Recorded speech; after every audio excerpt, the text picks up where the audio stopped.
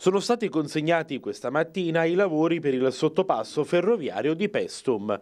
un'opera attesa da anni che adesso diventerà realtà. Nessuno ci credeva e senza invincimenti dico pure che è stata la procedura amministrativa più complessa che ho affrontato nella mia vita,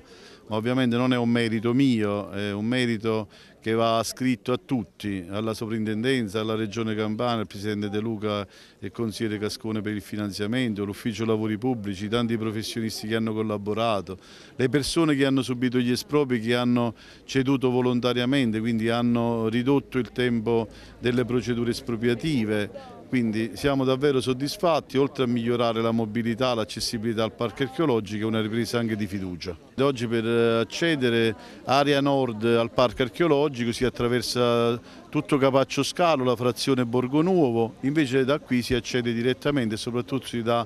eh, anche visibilità e valore alla stazione di Pesto con il suo parcheggio retrostante che prima era inutilizzato. Abbiamo adeguato il progetto alle attuali normative e abbiamo avviato immediatamente da un lato con il Presidente De Luca il finanziamento e dall'altro la procedura di conferenza di servizi che non è stata banale visto diciamo, l'area in cui ci troviamo e i particolari vincoli che abbiamo. Adesso oggi partiranno finalmente i lavori, un'opera che cambierà il volto anche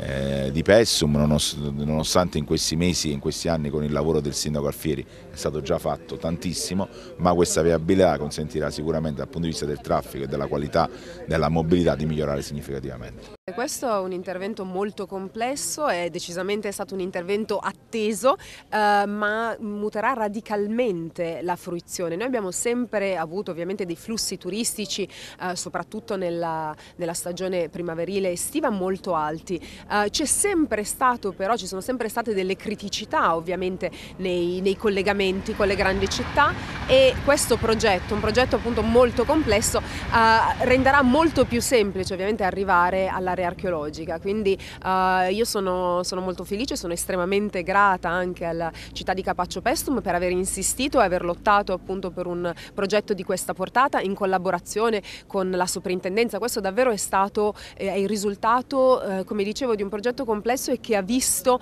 interagire diversi enti territoriali, regionali, uh, quindi da parte nostra, da parte dei parchi archeologici di Pestum e Velia, una grandissima soddisfazione e anche molta curiosità di veder realizzare questo progetto quanto prima.